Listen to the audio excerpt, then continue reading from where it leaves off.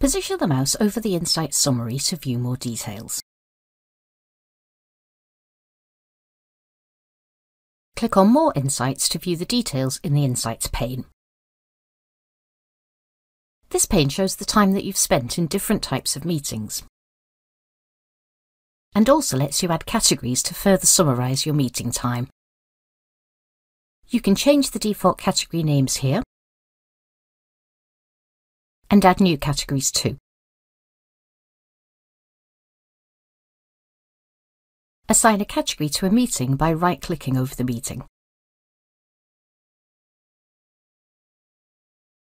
You can view your insights by category by choosing the By Colour tab.